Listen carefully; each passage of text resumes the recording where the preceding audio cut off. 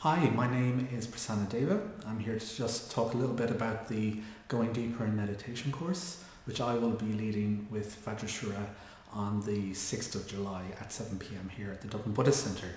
And I've just been thinking about how the introduction to meditation course, as good as it is, uh, there's a lot of content to get through. And what that means is uh, there isn't always uh, the ability to go into the practices in terms of one's individual uh, personality and how people can make it their own.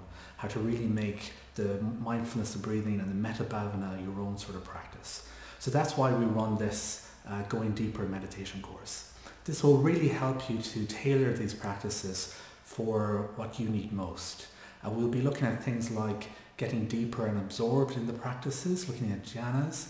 We'll be looking at uh, balance of energy, activity versus receptivity. Um, we'll be looking in more depth about tips and tricks on how to approach the two basic foundation practices that we teach here at the centre.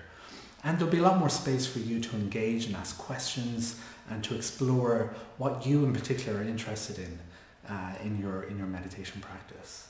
So please come along, do book on. Um, it's going to be a wonderful five weeks and uh, I'm really, really looking forward to, to doing that with Vajrashura and I hope to see you there. Bye bye.